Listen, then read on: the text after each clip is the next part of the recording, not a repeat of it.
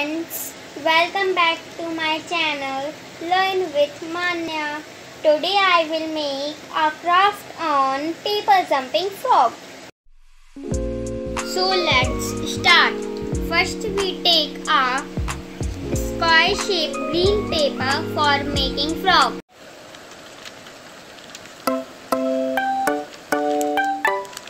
See carefully.